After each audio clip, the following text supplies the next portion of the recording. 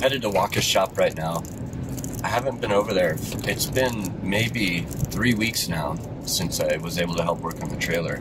We've just been gone on trips or had other conflicts. I've seen pictures of the current state of the trailer and it's it's quite a bit different. And I'm actually really excited to see it in person now.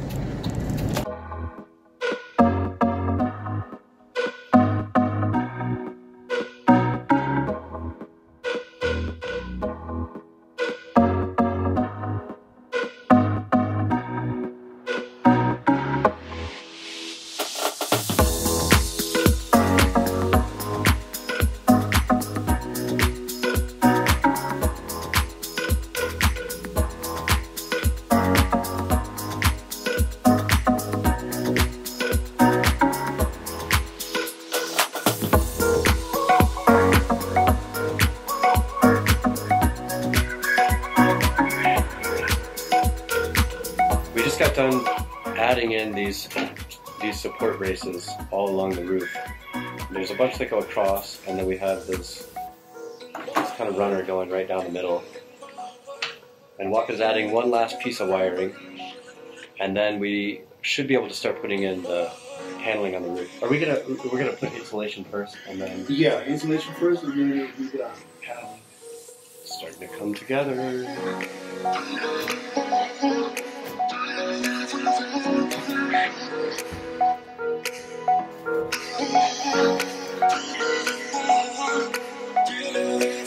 So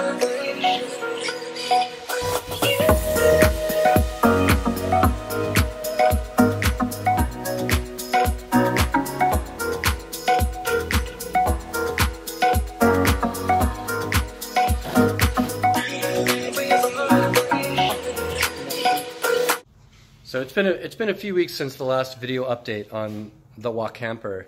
I've been away on a couple trips. No, one trip, one trip that was like a week and a half long, and uh, there's been a ton of progress while I was away. And so I'll give you a quick update. A lot of it hasn't been like interesting enough to video because it's a lot of like just really tedious cuts of you know paneling and plywood and stuff, but. Here's the trailer. Let's see if I can get it all in frame here. Whoa! So update. Let's see what what's. I guess the last time, the last video update. I don't even know if we had the side, the walls on yet. I think we just had the frame. I forget. Mm. But so we have Raptor bedliner is sprayed on. Sprayed on here. Whoops, on there diamond plates installed. The exterior walls are obviously there, sprayed with Raptor. Then there's an inch of insulation and then paneling on the inside. So all the interior paneling is now installed and trimmed. That outlet is wired up, at least from the inside. There's no nothing to connect it to on the other side yet. The beginnings of the interior cabinets and the power system, which I don't know if that's wired up yet, or is that It's not wired. okay? Not wired yet. And uh, I gotta remember those screws. They're still gonna be covered with trim. Oh yeah, that's right. trim Yeah, work is not done. yeah. So there are some spots where the trim is not done yet, Absolutely. and right here, and right there. Battery box is installed on the front. 500 watt, no, 1000 watt inverter.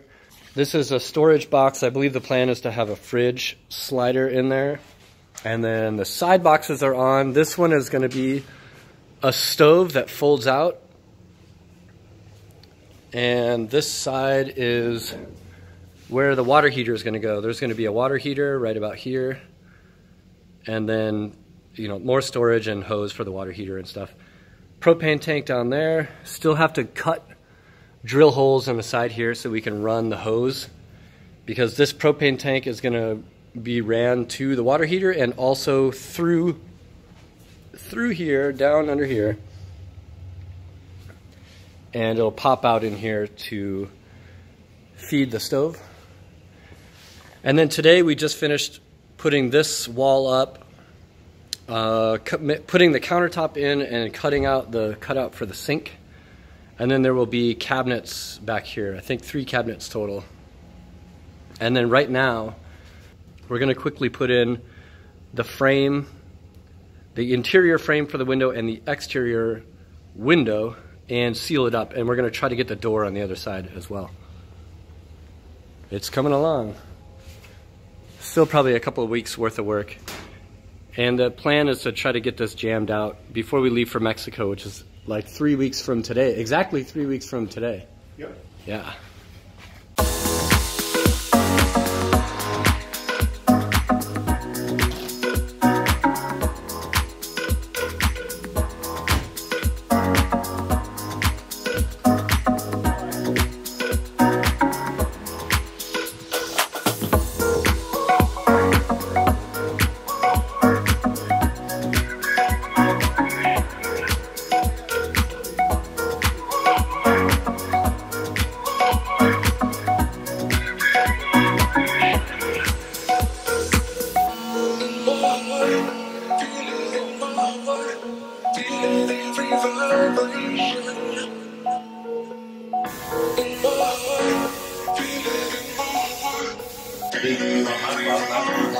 This is Mike, by the way. I just realized I don't think I've ever introduced him, but he's in. He's been in a few videos.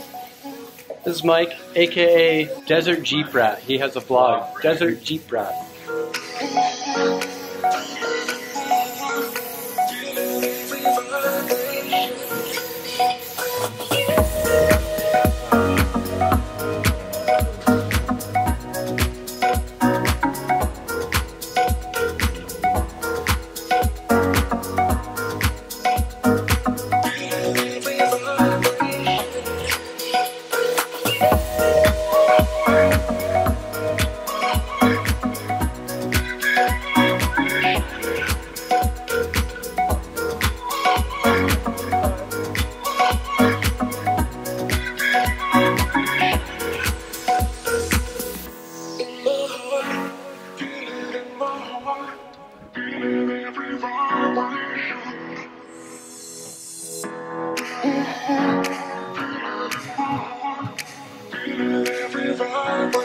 with me.